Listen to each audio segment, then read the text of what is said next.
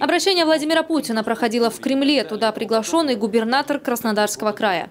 И, как отметил президент, агропромышленный комплекс – успешная отрасль, которая кормит всю страну. Кстати, сельхозпродукция по экспорту обогнала даже вооружение.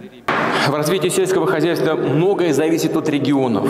Считаю, что нужно дать им больше самостоятельности в определении приоритетов использования федеральных субсидий на поддержку АПК а сам их объем связать с увеличением пашни, повышением урожайности, других качественных показателей эффективности производства.